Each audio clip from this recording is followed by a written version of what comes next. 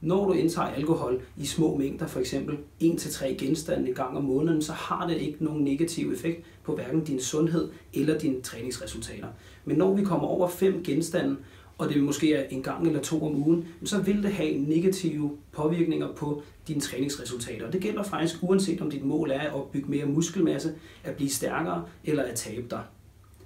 Hvis du er i tvivl om du kan Øh, få bedre resultater i din træning uden alkohol, eller du måske er i tvivl om du kan have det sjovt uden at drikke, så kan det være en god måde at teste det på ved at tage en periode, hvor du ikke drikker. Nogle af de konkrete negative effekter af alkoholen er, at det påvirker din søvn negativt. Selvfølgelig blandt andet, fordi du er vågen i længere tid, end du plejer at være.